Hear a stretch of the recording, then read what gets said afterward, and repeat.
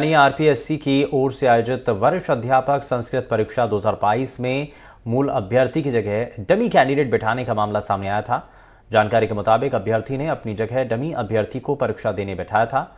RPSC के अनुभाग अधिकारी नमन शर्मा ने 14 दिसंबर को अजमेर के सिविल लाइन पुलिस थाने में मुकदमा दर्ज करवाया।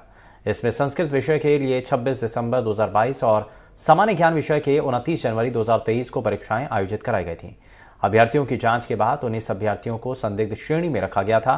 दस्तावेजों की जाँच में दौसा के रामप्रसाद मीना की जगह डमी अभ्यर्थी को बैठाने का मामला सामने आया।